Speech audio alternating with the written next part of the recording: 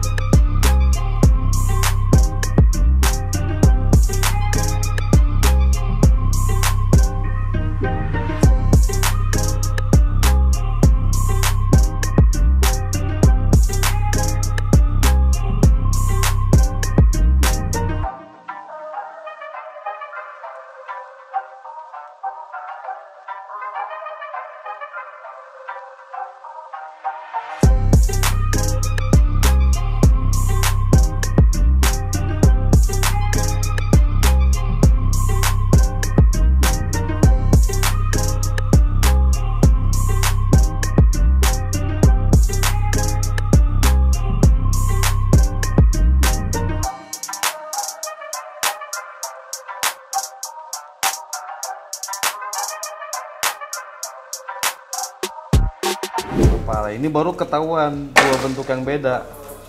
Nih, begitu udah dirapetin Ini kan. enggak. Ini nggak apa-apa udah biarin aja. Ini biarin. Tinggal ini nih, Iya, ini ketemuin di sini. Oke. Oke. Jadi hardscape udah mau selesai. Sekarang kita lagi menutup celah menggunakan matala ini. Biasanya kita pakai biofil, cuman di sini nggak ada. Akhirnya kita pakai yang lebih bagus lagi, lebih awet, lebih maksimal. Dia juga bisa sebagai tempat eh, bakteri menempel sini. Jadi di dalam akuariumnya juga ada media. Kan karena dia ini tuh banyak rongga celah bakteri itu kan menempel di semua permukaan gak cuma ada di filter. Ada juga di dalam uh, akuariumnya sendiri gitu. Di substrat ada di kayu-kayu ada. Di sini lebih ada lagi gitu ceritanya bro Yep.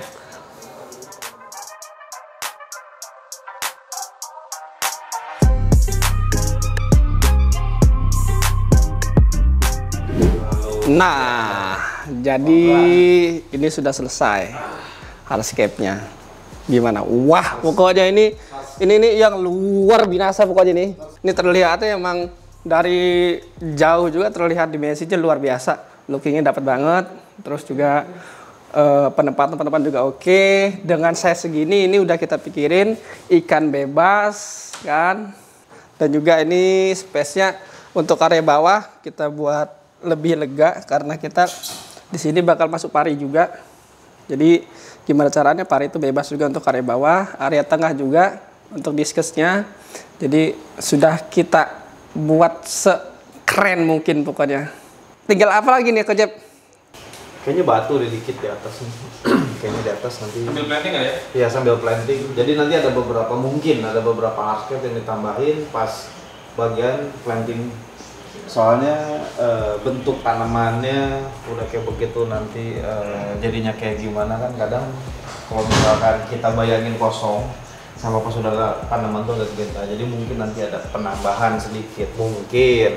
Cuma so far ngelihat konsep kayak begini sih udah kebayang planting apa aja yang bakal kita pasang sama mungkin juga nggak akan ada lagi penambahan karena kalau daerah sini udah nggak mungkin ditambah nih Nggak mungkin banget ya. nggak mungkin karena ini areal berenang pari makanya batu pun kita nggak simpan Benar benar benar. batu pun kita nggak simpan terus yang paling utama itu fokus jangan sampai discuss atau yang paling middle itu nanti kan ada jenis apa namanya tuh eh, ikan denisoni Denisoni, jangan iya. sampai moncor ke dalam Makanya yang PR di sini tuh kita eh, ganjel sih, ganjel supaya lubang-lubang kecil ini tuh nggak bisa dimasukin sama ikan. Hmm, bener bener. Seperti itu. Makan nanti di sini rencananya bakal disimpan cana barca katanya. Wow. Makanya kita nggak boleh apa ya nggak boleh Nggak boleh membiarkan area tersembunyi. area tersembunyi. Jadi jangan sampai nanti udah beli mahal-mahal ngumpet. Ngumpet, Hiding. hiding. Jangan. Ya, sambil berjalan lah, maksudnya ini eh, sesuatu yang memang nggak bisa sekali pukul doang. iya benar. Kayak begini harus eh, dilihat lagi kan, karena trouble utama di tangki ini udah pasti masalah tanin. Benar pasti. Ini bukan cuma kayu santi gitu, ini karena di sini ada lanang kan, gitu. Lanang itu udah terkenal taninnya banyak sekali. Nah makanya nanti kita tes kekuatan purity. Ya pokoknya ini PR-nya di kuningnya kayu. Kalau waktu kemarin itu kan dibantu sama prepare-nya itu sebelum kita pasang udah digodok, digodok tuh digodok. Direbus. udah dicuci, udah direndam, jadi kebantu nggak terlalu kayu baru banget. Nah sedangkan ini kan nggak sempat ya, jadi fresh kayu baru kita langsung pasang, nggak pernah ngerasain rendeman dan lain-lain. Dan kalau misalkan perbandingan sama kayu lama itu ini plus 70 Lebih lebih gila. banyak ya lebih banyak jadi kayu yang lama yang kemarin eksis di sini tuh hanya 30 ini plus tambah lagi 70 makanya mungkin kapasitas dari si uh, purity-nya itu harus ngikutin ya. Kalau enggak nanti bakal uh, sulit buat mencapai level bening. Level ben- jernih sih jernih Jernih. jernih, jernih. Agak lama jadi ya. agak lama pasti. Itu sih trouble-nya sih. Cuma eh, ya kita lihat lah nanti kekuatan dari si purity-nya sanggup nggak. Kalau menurut gua sih tetap sih. Ini bakal PR banget di water change-nya sih. Cuma kalau udah ngelewatin fase itu sih oke banget nah sama perbedaan yang paling mencolok itu dari segi flow kalau dulu itu kan Mm-mm. flow itu cuma di belakang tembok jadi ngarahnya ngacak ke mana-mana ngarahnya ngacak ke mana-mana nah kalau sekarang kita arahin Kanan sesuai- kiri. ya benar. flownya sesuai soalnya penyakitnya kemarin itu ciano bakteria terus diatom tapi nggak sampai ke BBA sih Sa- salah satu faktornya mungkin dari sistem flow air yang- Sirkulasi Ya, dalamnya. sirkulasi flow air yang kurang sehat. Karena kan di sini ada pari dan juga kasih makannya juga kebanyakan eh, udang. Udang. Ya. jadi banyak apa ya kayak banyak pembusukan lah. Banyak pembusukan yang nggak keputer. Amonia ketinggian. ya amoniaknya jadi nggak keputer nempel di kayu nempel di tanaman. Nah makanya kita harapkan flow yang baru ini bikin masalah di tangki ini sedikit beda dengan yang kemarin gitu. Jadi harapannya sih kayak begitu. Soalnya kan ini dari kemarin itu trouble-nya juga. Dari si bottom drain-nya mampet dikit air tekor. Kelebihan yang masuk gitu. Jadi yang masuk ke dalam filter filternya kurang yang nembak dari filter ke sininya lebih kenceng. Akibatnya dia lebih. Jadi si tembokan itu yang harusnya ada di bawah level air Itu jadi- di atas. Iya, Jadi kelihatan. jadi kelihatan. Harusnya kan dia nggak kelihatan sama sekali. Nah dengan kita bebasin bottom drainnya harapannya ya nggak ada nyangkut atau apa. Seandainya ada nyangkut pun gampang untuk kita benerin gitu. Jadi belajar dari apa yang kurang di desain sebelumnya. Makanya utamanya itu kenapa kita balik lagi ke sini kita perbaiki. Yang mungkin dari segi estetika nutupin tembok yang kelihatan kemarin bekas Eh, tambah-tambahan. ya waterproofingnya kelihatan banget kita udah cover dari sistem juga kita sempurnakan Sudah lagi. kita rubah lagi. Heeh, jadi apa yang udah bagus kemarin kita nggak rubah cuma apa yang kurang di sini Kita sempurnakan. ya kita sempurnakan jadi kayak sistem filter kemarin udah oke banget media apa segala macam sudah terbukti itu bikin air bening dari segi eh, dari segi biologikalnya ya mungkin yang harus ditambah cuma zatnya aja untuk purity ya Benar. ininya apa untuk ngedotaninnya gitu aja sih jadi kita biarin dulu nih kita bilas. Jadi step sekarang selanjutnya kita bilas Mm-mm. cuci. Karena kan banyak bekas gergaji di dalam. Iya iya iya. bekas eh, Bekas kita- kotor-kotoran. ya, kotor apa segala macam banyak kayu-kayu juga mungkin kan yang Kayak yang eh, bekas ya, yang penempel. yang turun nggak kelem gitu. Dia nyangkut apa nanti biar dia sampahnya semua keangkat dulu. Sekali kita saring gitu. nah baru kita planting. Seperti itu. Jadi dua hari dari sekarang. Terus atau maksim ah, paling cepat besok sih harus bisa seperti itu. Mudah-mudahan lancar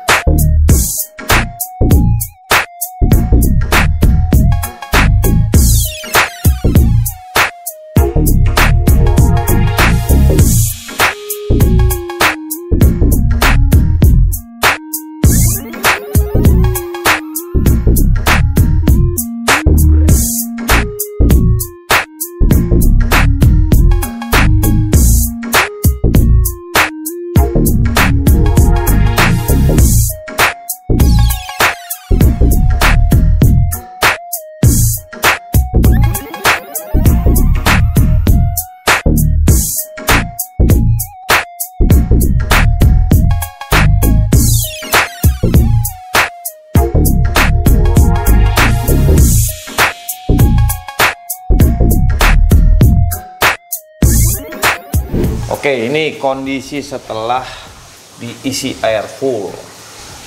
Nah, berbeda kalau misalkan kita ngelihat waktu sebelum ada air, karena sudut-sudut yang di atas itu kelihatan jelas. Nah, sekarang ini posisi bener-bener di dalam air ya.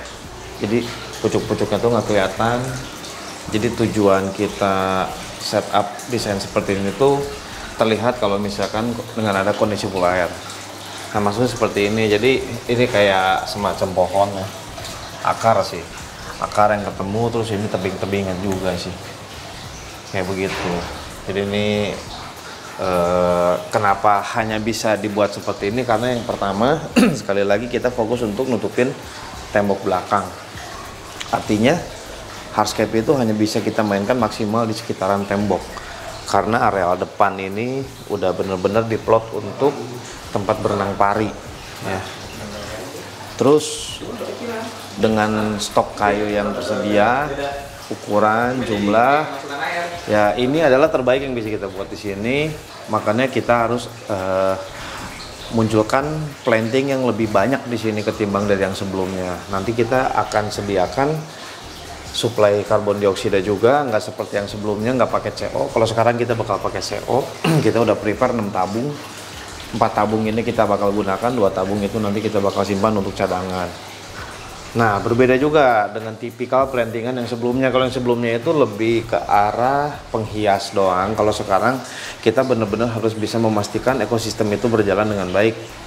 Makanya nanti plantingannya juga lebih bervariasi gitu. Jadi nggak hanya sebatas jenis fern atau juga cryptocurrin kita di sini akan menggunakan moss makanya kenapa di sini kita menggunakan kayu yang banyak sekali? Awalnya kita bakal combine sama batu. Kalau misalkan memang plantingan itu minim supaya nggak terlalu berabe juga gitu dan tidak terlalu terlihat kusut. Jadi setup seperti ini ini memang the best kalau misalkan moss itu ada. Nggak hanya menggunakan tanaman-tanaman dengan daun lebar tapi moss itu setidaknya membuat ritme dan alur dari si hardscape itu terlihat jelas ya. Jadi semacam kalau misalkan lu ngegambar itu garis bold gitu. Moss itu fungsinya seperti itu. Jadi mempertegas bentuk dan alur cerita dari hardscape-nya